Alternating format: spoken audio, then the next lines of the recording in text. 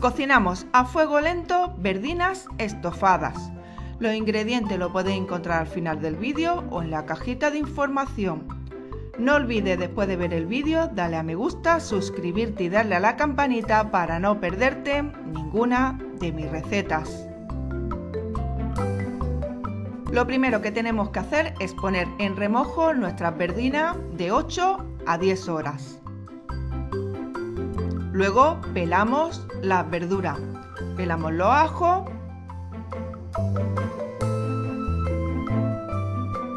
El pimiento, empujamos el rabito hacia adentro y como veis, sacamos toda la semilla.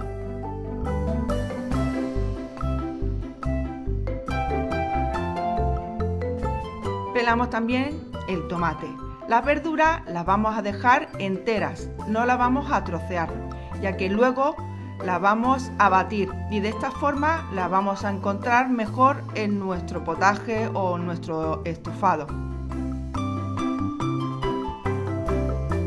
Por supuesto, también pelamos la cebolla. Una vez pelada, lavamos toda la verdura.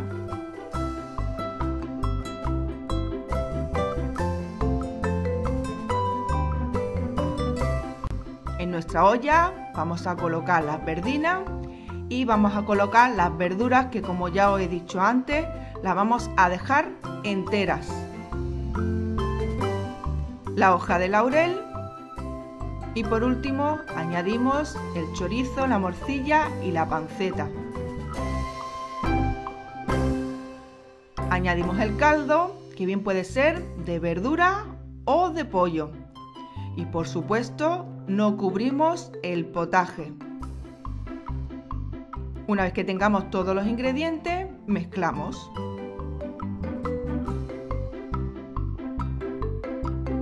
Ya lo único que queda es tapar con la tapadera, ponemos a temperatura baja y 7 horas después, este es el resultado.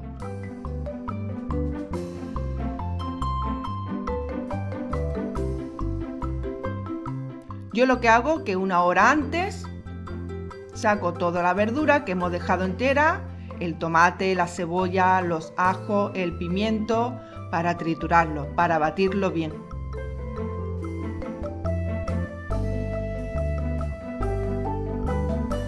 ¿Veis?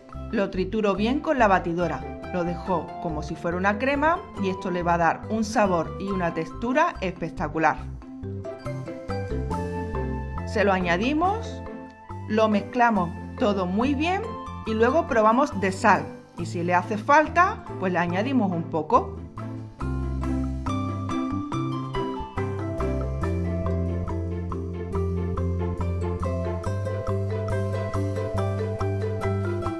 Mirad, aquí tenemos ya nuestras verdinas estofadas terminadas, en su punto como debe de ser, y con un sabor... Mmm, Aquí tenéis los ingredientes para poder hacer estas verdinas estofadas. Si te ha gustado mi receta, regálame un like. Me encantaría leer tu comentario y no olvides suscribirte y darle la campanita para no perderte ninguna de mis recetas. No te pierdas nada de cocinando a fuego lento. Sígueme en todas las redes sociales. Los enlaces los tienes en la cajita de información.